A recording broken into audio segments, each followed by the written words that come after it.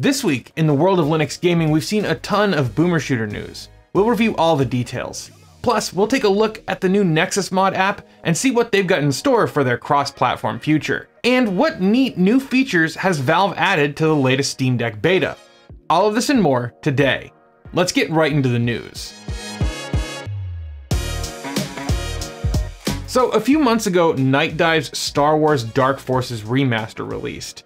It was a good upgrade and it presented the open source project called the Force Engine with an opportunity to support the HD assets in their engine. But what is the Force Engine? Well, you might have put two and two together. The Force Engine is an open source rebuild of Star Wars Dark Forces, the original version of the game, uh, its engine, and it uses the original assets from the game to play well, this week, uh, version 1.10.triple was released and it features a whole host of changes. And this includes supporting HD assets, including textures, sprites, and the HUD, with cutscenes and briefings coming in the future.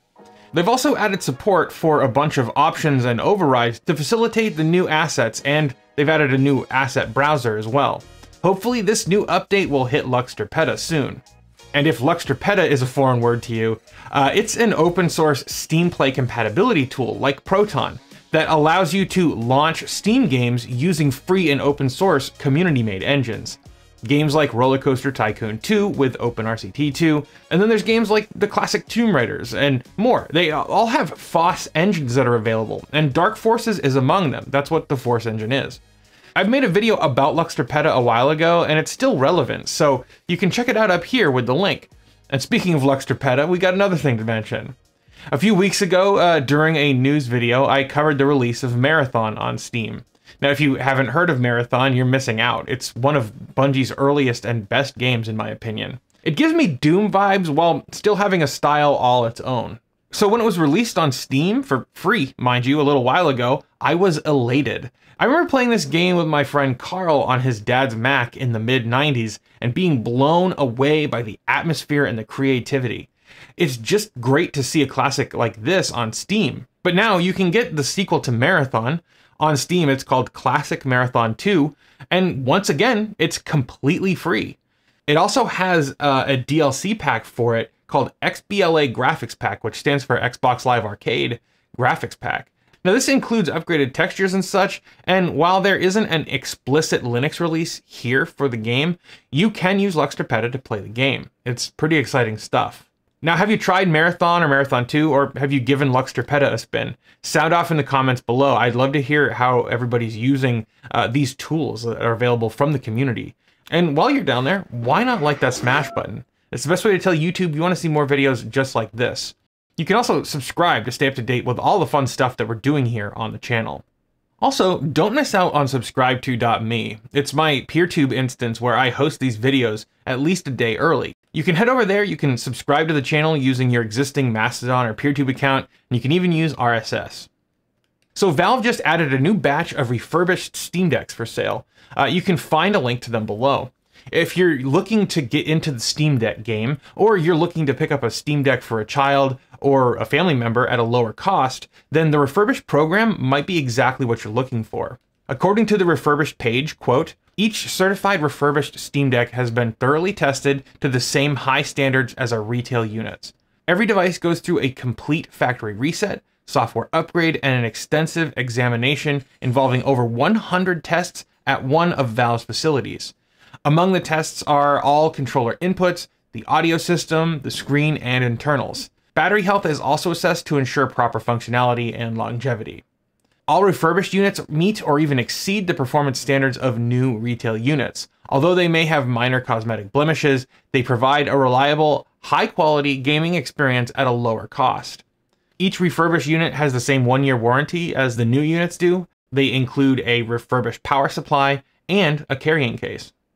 Now look, the 512 gigabyte model is just $359. The 256 model comes in at a cool 319, and you can get a refurbished 64 gigabyte Steam Deck for just $279. I mean, that's an absolute steal, guys. And if you pick up one of these refurbished models, you're probably going to want an SD card or even maybe an SSD upgrade. You can use my affiliate links below to get one for yourself or even both of them. I highly recommend this one terabyte SanDisk SD card. It's what I consider to be the best SD card for the Steam Deck right now. It's what I use in my deck personally as well. But if you're looking for a more permanent upgrade, there's also the Sabrent Rocket 2230 NVMe. These are both devices that I have personally tested with my deck. I, I mean, this one terabyte drive is still installed in my uh, personal Steam Deck. Both of these come highly recommended, and there are affiliate links below. Now, I'm not sure how I missed this one, but apparently Nexus Mods is working on a new cross-platform and open source modding app, and it should considerably ameliorate the terrible state of mod management on Linux. And according to their GitHub, quote, the Nexus Mod app is a mod installer, creator, and manager for your popular games. It, quote, is easy to use, runs on your standard Windows PC and Linux alike, don't waste time troubleshooting, play your games, fill those knees with arrows, and most importantly, have fun. Now this is super exciting since, as I said, manually managing mods for every game on your Linux system can be a bit tedious and not to mention cumbersome especially when you consider the Steam Deck's limited inputs.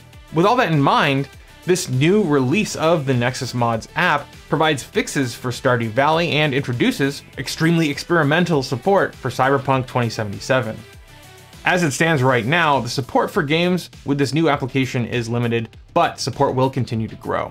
Now, I haven't tried the new Nexus Mods app, um, but one thing I would like to see is support for controller input uh, because having a controller driven interface as well as a mouse and keyboard driven interface is kind of a big deal uh, in today's day and age where handheld gaming and couch gaming are so important to the PC.